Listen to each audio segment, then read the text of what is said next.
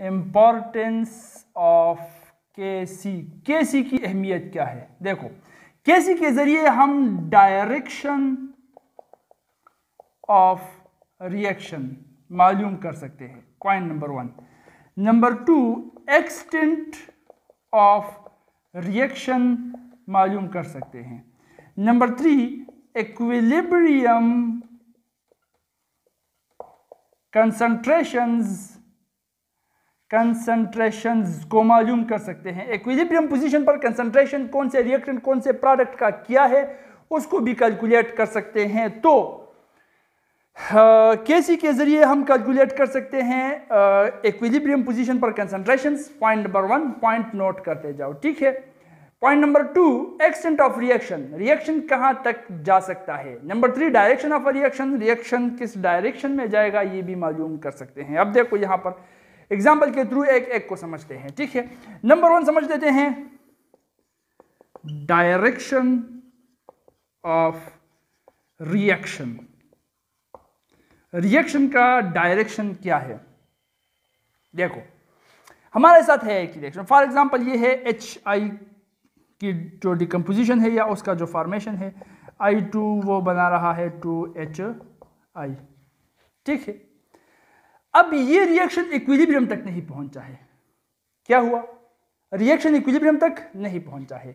Equilibrium तक नहीं पहुँचा है और फिर भी मैं इसके एक्टिव मास को लेकर एच आई जो कि प्रोडक्ट है रिएक्शन के एक्टिव मास पर डिवाइड कर लेता हूँ।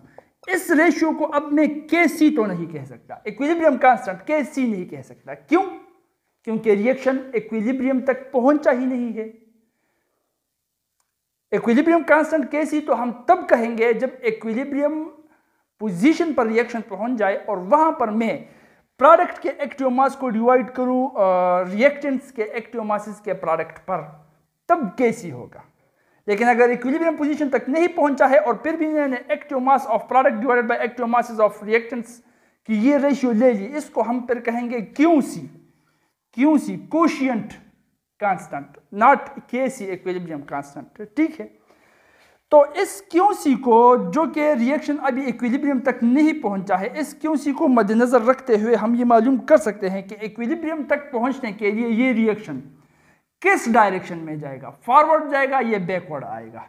ये हम तब कर सकेंगे जब हम क्यू सी की वैल्यू को कैलकुलेट करें और इस क्यू सी को कंपेयर करें के सी के साथ। इसको क्या कर लेते हैं? कंपेयर कर लेते हैं के सी के साथ। ठीक है? तो कंपेयर कर लेते हैं के सी के साथ। के सी के साथ जब हम कंपेयर कर लेंगे, तब हमको पता लगेगा कि रिएक्शन फॉरवर्ड डायरेक्शन में जाएगा या बैकवर्ड डायरेक्शन में आएगा इक्विलिब्रियम तक पहुँचने के लिए। बात समझ में आ रही है? अब देखो, तीन कंडीशंस आपके साथ हो सकते हैं। या तो क्यू सी जो होगा, वो ग्रेटर होगा के सी से। या तो क्यों सी होगा, वो स्मॉलर होगा के सी से, या क्यों सी जो होगा, वो बराबर होगा के सी के। ये तीन कंडीशंस आपके साथ हो सकते हैं, जब आप क्यों सी को कैलकुलेट करके के सी के साथ कंपेयर करो। तो क्यों सी या के सी से छोटा, क्यों सी या के सी से बड़ा, या क्यों सी के सी के बराबर होगा। ठीक है? अब देखो पॉइंट नंबर वन जब क्यों सी के सी से बड़ा हो, बात को गौर से सुनो। क्यों सी के सी से बड़ा हो। अच्छा बड़ा है। बड़े का क्या मतलब आ रहा है? ये है क्यों सी ये ऊपर जो है, इसको हम कहते हैं मैथ्स में नोमिनेटर देखो, मैं आसानी के साथ समझा रहा हूँ, गौर को, गौर के साथ इसको सुनो ठीक है? किताब में ये समझ में खुद से खुद नहीं आएगा। ये इसको हम कहते हैं डिनोमिनेटर अब जवाब आपके साथ, जो कि क्यों सी है जवाब। एक मैथ्स के फ्रैक्शनल क्वेश्चन में जवाब बड़ा कब आता है? जब नोमिनेटर बड़ा हो या डिनोमिनेटर बड़ा हो? क्वेश्चन है कि जवाब एक फ्रैक्शन क्वेश्चन में मैथ्स में कब बड़ा आता है? जब नोमिनेटर का हिंसा बड़ा हो या डिनोमिनेटर का हिंसा बड़ा हो? शाबाश। जाहिरी बात है, ठीक है? जब न्यूमरेटर बड़ा हो, ऊपर वाला हिंसा बड़ा हो, जवाब बड़ा आएगा। नीचे वाला हिंसा अगर बड़ा हो तो जवाब कम आएगा। यहाँ पर समझ लेते हैं, देखो एट डिवाइडेड बाई टू और यहाँ पर कर लेते हैं टू डिवाइडेड बाई एट इसमें से यहाँ पर बड़ा वाला हिंसा वो न्यूमरेटर है डिनोमिनेटर छोटा है तो इसका जवाब आएगा क्या? फोर यहाँ पर नोमिनेटर छोटा है डिनोमिनेटर बड़ा है, इसका जवाब क्या आएगा? वो आएगा तकरीबन 0.2 समथिंग आएगा तो जवाब छोटा आ गया। तो नोमिनेटर जब बड़ा होगा, तब जवाब बड़ा आएगा। डिनोमिनेटर अगर बड़ा हुआ तो जवाब छोटा आएगा। ये बात जहन में याद रखनी है, ठीक है? अच्छा। अब नुमिनेटर यहाँ देखो, क्यों सी क्या है? बड़ा है। क्यों सी बड़ा है? इसका मतलब नुमिनेटर बड़ा है। नुमिनेटर कौन है? प्रोडक्ट है। प्रोडक्ट है मतलब प्रोडक्ट बड़ा है और रिएक्टेंस कम है। रिएक्टेंस कम है प्रोडक्ट ज़्यादा है तो अब एक नॉर्मल फ़िज़िकल लॉ है। कि ये रिएक्टेंस यहाँ के लोअर कंसंट्रेशन से आ, ये रिएक्टेंस यहाँ के हायर कंसंट्रेशन से लोअर कंसंट्रेशन की तरफ़ आएँगे। यहाँ पर प्रोडक्ट बड़ा है रिएक्टेंस कम है इसलिए ये रिएक्शन प्रोडक्ट से ज़्यादा वाली जगह से छोटी वाली जगह की तरफ़ आएगा तो रिएक्शन बैकवर्ड डायरेक्शन में आएगा। देखो, एक सिंपल सा एग्जांपल है कि आपके साथ दो ड्रम है। दो ड्रम आपने कनेक्ट किए हैं एक ट्यूब के थ्रू इसमें पानी ज़्यादा है, इसमें पानी कम है। अब आप खुद बोलो कि ड्रम ए से ड्रम बी की तरफ़ पानी जाएगा या बी से ए की तरफ़ आएगा? जहाँ पर पानी कम है, वहाँ से पानी खुद ब खुद वहाँ पर नहीं जा सकता, जहाँ पर पानी ज़्यादा है। हाँ लेकिन जहाँ पर पानी ज़्यादा है, वहाँ से पानी खुद ब खुद कम जगह वाले पानी की तरफ़ जा सकता है। ये एक स्पॉन्टेनियस प्रोसेस है, एक नॉर्मल फ़िज़िकल लॉ है इस दुनिया में। यहाँ पर यही फ़िज़िकल लॉज फॉलो होते हैं, ठीक है? तो ऐसे ही कुछ ये मामला है। क्यों सी बड़ा है? क्यों सी बड़ा है? मतलब नोमिनेटर बड़ा है। नोमिनेटर बड़ा है मतलब नोमिनेटर कौन है? प्रोडक्ट है। तो प्रोडक्ट बड़े हैं। कंसंट्रेशन में प्रोडक्ट ज़्यादा है रिएक्टेंट की कंसंट्रेशन कम रह गई। रिएक्टेंट की कंसंट्रेशन कम है प्रोडक्ट की कंसंट्रेशन ज़्यादा है तो from higher concentration to lower concentration ये रिएक्शन पीछे की तरफ़ आएगा प्रोडक्ट से रिएक्टेंट्स की तरफ़ आएगा मतलब बैकवर्ड डायरेक्शन में आएगा तो अगर क्यू सी के सी से बड़ा हो तो रिएक्शन का डायरेक्शन बैक वर्ल्ड होगा। पॉइंट नंबर वन ठीक है? पॉइंट नंबर टू अगर क्यू सी छोटा हो के सी के तो क्यों सी बड़ा है तो रिएक्शन बैकवर्ड डायरेक्शन में तो अगर क्यों सी छोटा हो गया तो जाहिरी बात है, ये फॉरवर्ड डायरेक्शन में हो जाएगा। उल्टा हो गया ना। यहाँ पर क्यों सी बड़ा था, यहाँ पर क्यों सी छोटा हो गया, उल्टा हो गया। तो ये बैकवर्ड था, ये भी उल्टा कर लो फॉरवर्ड हो जाएगा। लॉजिकली देखना है तो वही रूल अप्लाई करो। क्यों सी अब छोटा आ रहा है? छोटा आ रहा है, छोटे का मतलब छोटा आंसर तब आएगा जब डिनोमिनेटर बड़ा होगा। डिनोमिनेटर यहाँ पर बड़ा है मतलब रिएक्टेंस अब ज़्यादा है। रिएक्टेंस ज़्यादा है कंसंट्रेशन में तो प्रोडक्ट कम हो गए। प्रोडक्ट कम हो गए तो हाइयर कंसंट्रेशन से लोअर कंसंट्रेशन की तरफ़ जब रिएक्शन मूव करेगा तो हाइयर कंसंट्रेशन रिएक्टेंट की है लोअर कंसंट्रेशन प्रोडक्ट की है तो ये रिएक्शन से प्रोडक्ट की तरफ़ मतलब फॉरवर्ड डायरेक्शन में रिएक्शन जाएगा। तो रिएक्शन फॉरवर्ड डायरेक्शन में जाएगा जब क्यू सी के सी से छोटा हो, ठीक है? और जब क्यू सी के सी के बराबर हो, वैसे एक क्वेश्चन है, देखो मैथ्स में, कि अगर one is equal to three two is equal to six then three is equal to. अब बहुत से स्टूडेंट्स क्या करते हैं? One is equal to three, two is equal to six, three और ऐड हो गया तो three is equal to nine हो जाएगा। अब यहाँ पर लिखा है तेरे साथ कि one is equal to three तो three is equal to one भी हो गया ना तो three is equal to one यहाँ पर आता है। ठीक है, यही बात यहीं पर चल रही है। ये क्यों सी है? तो क्या हुआ? के सी के बराबर हो गया, इसका मतलब ये खुद भी के सी है। तो जब ये के सी है तो इसका मतलब रिएक्शन ना फॉरवर्ड डायरेक्शन में जाएगा, ना बैकवर्ड डायरेक्शन में जाएगा। ये इक्विलिब्रियम पर हो जाएगा। बात समझ रहे हो? ठीक है। तो Q C is equal to K C इसका मतलब क्यू सी भी के सी हो गया। क्यू सी के सी हो गया मतलब ये के सी है तो के सी जब होगा, तब रिएक्शन इक्विलिब्रियम पोजीशन पर होगा। ये तो सिंपल सी बात है। ठीक है। अब ये हुआ इंपॉर्टेंट इंपॉर्टेंस नंबर वन ये समझ में आ गया? अब क्या है? एक्सटेंट ऑफ़ द रिएक्शन बात समझ में आ रही है ना? हाँ? हाँ पर तीन इंपॉर्टेंसेस है ना? चौथा जो फैक्टर है लिचाटियर प्रिंसिपल उसमें यूज़ होता है, वो कर लेंगे इसके बाद। अच्छा। Extent of reaction extent of reaction देखो, तीन हालत हालतें आपके साथ हो सकती हैं। K C is very large number two K C is very small और के सी इज़ मीडियम यहाँ पर मैं लिख दूँगा। ना इधर वेरी स्मॉल ना इधर very large extent of reaction का मतलब रिएक्शन का हद. रिएक्शन कितना आगे जा चुका है? रिएक्टेंट्स ज़ीरो पोजीशन पर थे. रिएक्टेंट्स फुल पोजीशन पर थे प्रोडक्ट अभी तक नहीं बना था. प्रोडक्ट ज़ीरो था. रिएक्टेंट्स अभी स्टार्ट ही रिएक्शन अभी स्टार्ट ही नहीं हुआ था. तो रिएक्शंस फुल मौजूद थे प्रोडक्ट ज़ीरो था. अभी नहीं बना था. रिएक्शन स्टार्ट हो गया. तो ये रिएक्शन कितना आगे जा चुका है, इसको हम कहते हैं extent of the reaction reaction की हद. रिएक्शन कितना आगे जा चुका है? आधा आगे जा चुका है।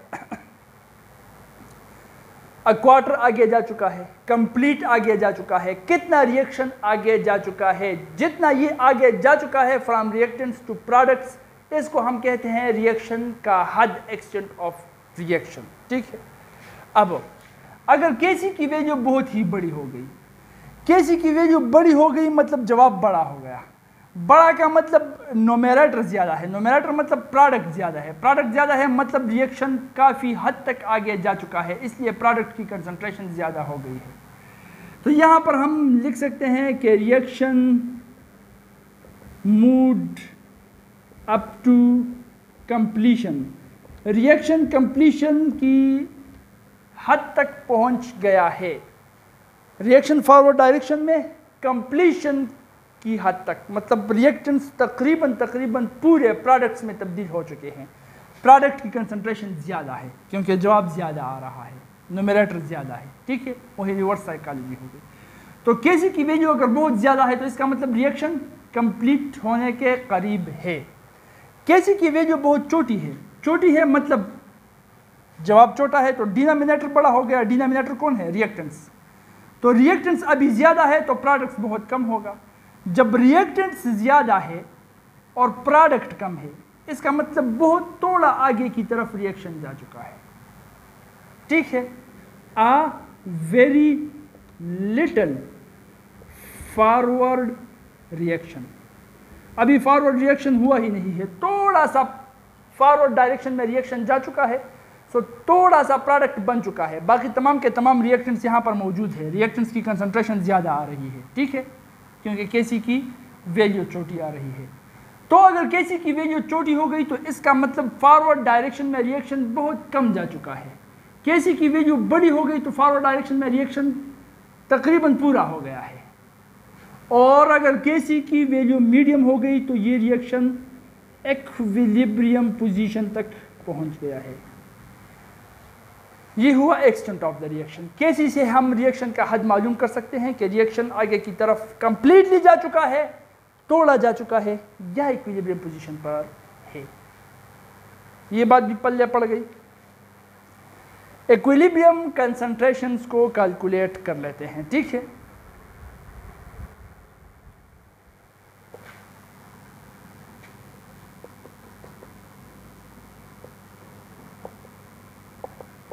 एच टू है आई टू है, दे रहा है टू एच आई हमें इनिशियल कंसंट्रेशंस दी गई हैं कि इसका इनिशियल कंसंट्रेशन वन है, इसका भी इनिशियल कंसंट्रेशन वन मोल है।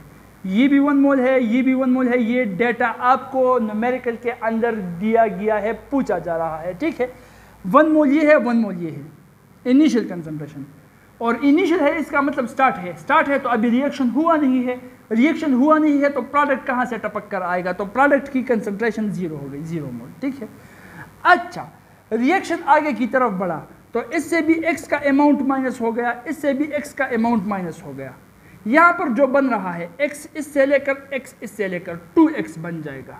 तो इसकी कंसंट्रेशन टू एक्स हो जाएगी आफ्टर सम टाइम ठीक है?